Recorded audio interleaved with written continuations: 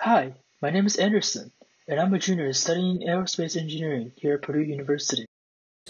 I'm Ritwik. I'm a rising sophomore at Purdue studying computer science. Hi, my name is Soomin Moon. I am second year PhD student in School of Electrical and Computer Engineering at Purdue University. We would like to present to you our 2022 Quantum Game Club summer project. And the goal of our project is to solve a generated maze using a quantum computer. At the core of the user interface for the game is maze generation. After trying a number of algorithms such as randomized Kruskal's algorithm and the Prim's algorithm, I finally opted for the recursive backtracking algorithm to generate the maze as it seemed to generate more random mazes and was uh, visually more appealing. The entire idea of maze generation is based on depth first search. Uh, DFS is a graph traversal algorithm with, uh, with the idea behind it being that uh, it starts at the root node and then travels down deep and as far as possible into a particular branch of the graph until it encounters an end, upon which it backtracks to the last unvisited node in the stack and repeats the same process, thus eventually traversing the entire graph. An extra stack of, mem- of memory is needed to keep track of the nodes that have been visited so far so that we could backtrack to the unvisited node upon traversing a particular branch. For example, in this particular graph, the traversal starts at A, which is the root node, and then we travel down the first branch A, B, D as far as possible Next, we backtrack to E and then travel through E, H, and L. And then we again backtrack to M and then to N. And just repeating, uh, repeating this process uh, recursively uh, over all of the other nodes, we travel through all of the other nodes in the following order I, O, P, C, F, G, J, K, and Q. The way we utilize this approach to form the maze is by imagining the maze on the left uh, in the form of an undirected graph uh, as you can see here on the right where each cell is a node and every pair of adjacent cells is connected with an edge. To generate the maze, we simply traverse through this entire graph using the depth first search approach, uh, with the only additional detail being that as we travel along uh, any edge and move from one cell to another, we carve out the maze accordingly along that path by coloring the cells and removing the walls between them. This is the code for the algorithm. Uh, I use the Pygame Python library to generate all of the GUI. The code is roughly divided into two major functions, build grid and carve out maze. The build grid function, as the name suggests, uh, is responsible for displaying the entire grid on the screen. The loop runs from 1 to 11 in a nested fashion uh, through the grid with a width and length of 10 cells. And on each iteration the walls of the grid are made by drawing a white line as you could see here uh, which just represents the boundaries of that particular cell. Once the once the entire grid is formed uh, the, all the walls and the entire grid is stored inside the grid variable the carve out maze function which you could see here is the function that carves out the actual maze by performing the, the, depth first search algorithm on the entire grid starting at the root node which in our case is the upper leftmost cell. To perform this algorithm we use two variables visited and stack. Visited keeps track of all the cells that have been visited until then and stack is used to store the set of unvisited nodes. And every time a node is visited that does not have any unvisited neighbors, it's just popped off the stack. We loop, as you could see here, we loop until the length of the stack is greater than 0, which means until there are still unvisited nodes left. While looping randomly, uh, uh as you could see here in this uh, line of code, we, we randomly select one of the neighbors of the current cell that has not yet been visited and upon which we up update the visited list and make the adjacent unvisited cell to be the current node. In order to actually carve out the maze path using Pygame, we call one of the push functions uh, which are defined here, which fills up the appropriate cells on the screen with blue color, uh, thus overriding the white walls between the cells, which creates a continuous path. We simply repeat this process in a loop, performing DFS over the graph until each cell is visited. And as I said before, if anytime it happens that the current cell doesn't have any unvisited neighbors, then it's just popped off the stack and the algorithm backtracks to the last unvisited node on the stack. So this is just a demonstration of the maze generation algorithm.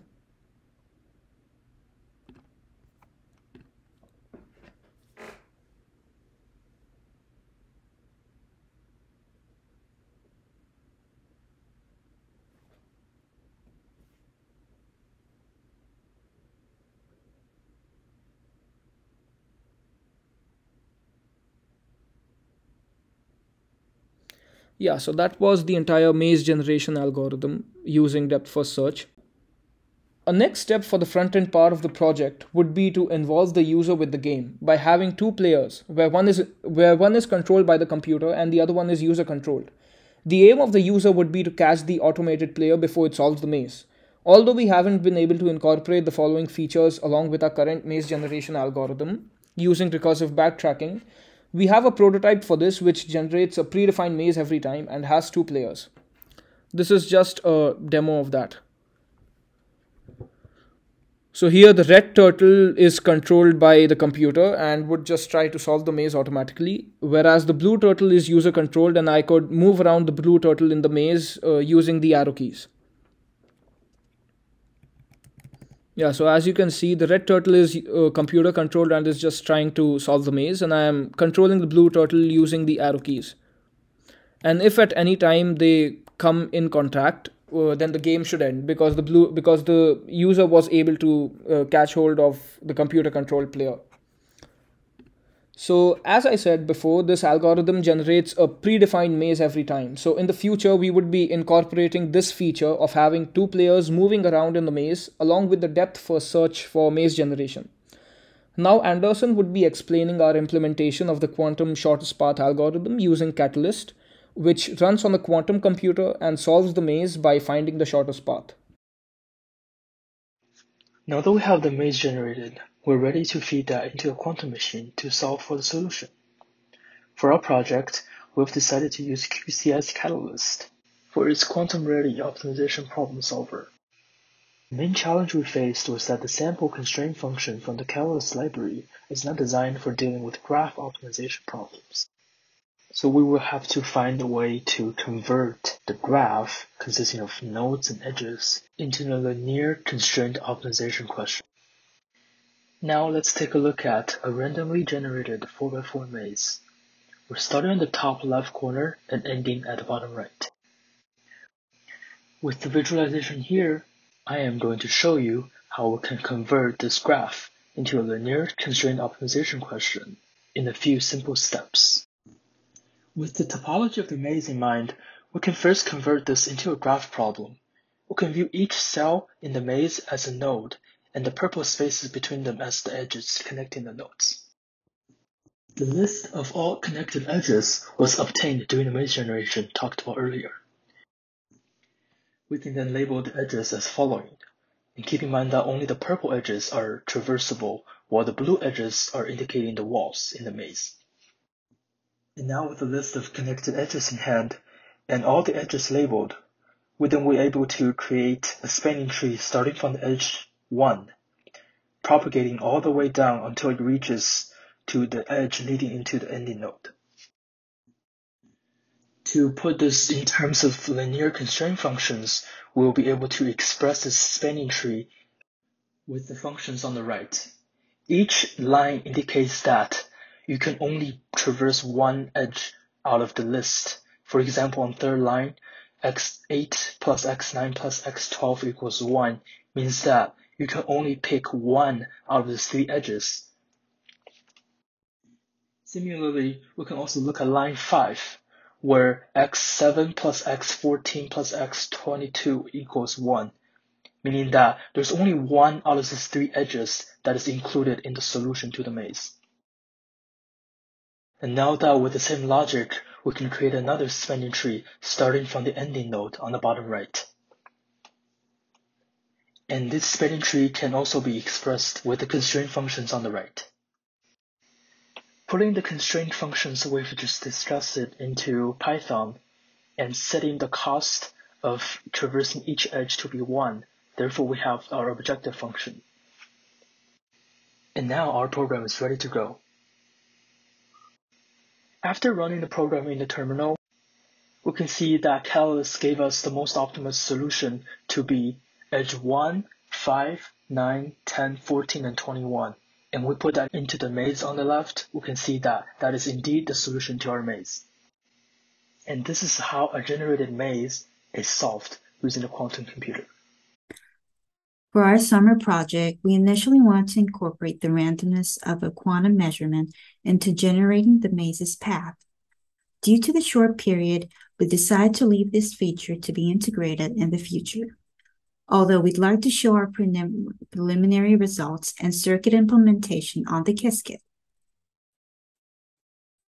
In our two-dimensional square gridded maze, we can move in four directions, which corresponds to north, south, east, and west.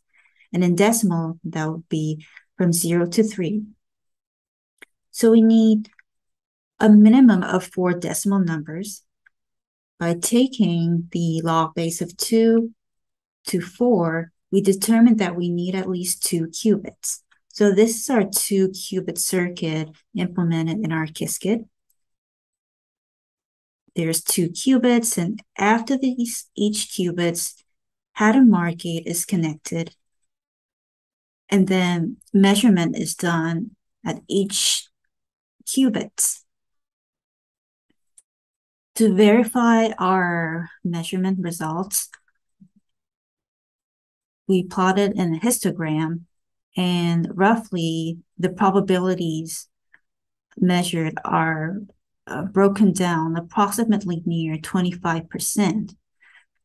Um, there's a small deviation from these this ideal number, and this is probably due to the measurement noise incorporated into the quantum circuit. One thing to note in our uh, circuit implementation is that we don't want to entangle these two qubits then um, these two qubits, after entanglement, the output would be one of the four Bell bases. And then Bell bases is maximally entangled that um, only half of the, the range of the numbers would show up. Then that's not what we want. So we want to avoid entangling these two qubits. Now we're ready to uh, go over the Qiskit code. So this is our Qiskit code and how it should be done is first have to configure the user credentials and check which quantum computers are available. And we pick the, the provider um, named IBM Q Lima as our backend. And then we specify our circuit implementation. Then we specify how many times we want to measure the circuit. In our case, that's 10,000 times. After then, we could save our result, store our result into a variable, and plot the results in a histogram and verify if, if this is desired or not. Then we could check our stored result, random numbers, in a string format that has the binary information, binary output of qubit, space, binary input, zero, zero. With after some post-processing, we can convert these binary outputs to a decimal number and we can output that into a text file. This concludes our final presentation for the summer project. We would like to thank National Defense Education Program and IQ-PARC for sponsoring our work.